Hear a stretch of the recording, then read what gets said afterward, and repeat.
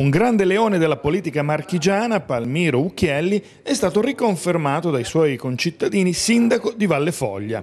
Ucchielli, che si era ripresentato nella seconda investitura a carico del lavoro svolto in questi cinque anni per unire e rilanciare il territorio, come lui stesso più volte ha affermato, ed in effetti questa ricetta lo ha proprio portato a stravincere. Non si muove Valle Foglia dunque che Ucchielli non voglia, che incassa un bel 59,89% per 4.362 voti e chiude la partita al primo set con il pentastellato Pistillo che porta a casa un 20,54%, 1.496 voti e Carla Nicolini del centrodestra che gratta il restante 19,57% con 1.425 preferenze. Ma l'inossidabile Occhielli in questo secondo mandato incassa anche più preferenze del 2014, ben 1.200 in più.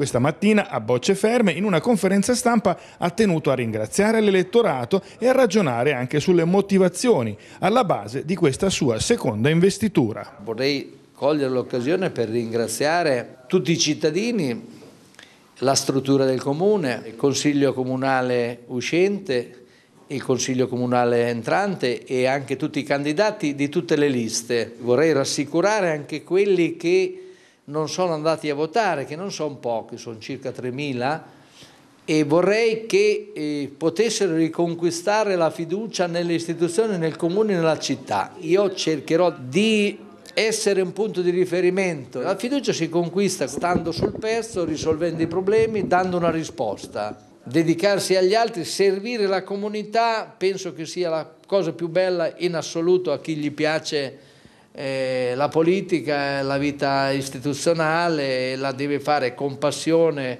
con serietà, con onestà